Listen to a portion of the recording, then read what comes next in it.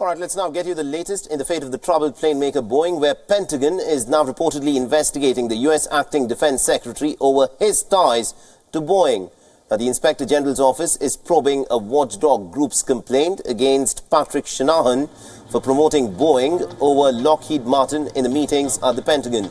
Shanahan has worked in Boeing for almost about 30 years before joining the Pentagon. Now, Shanahan had also signed an ethics agreement to recuse himself from any decisions involving Boeing.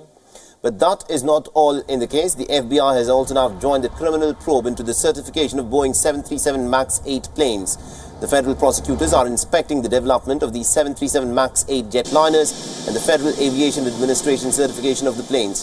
An FBI spokesperson has neither confirmed nor denied the investigation. Meanwhile, a U.S. Senate panel has planned a hearing on aviation safety on the 27th of March.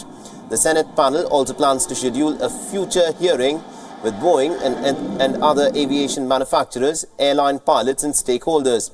More than 300 MAX 8 passenger jets have been grounded globally following a fatal plane crash in Ethiopia nine days ago. Mrs. Fisher.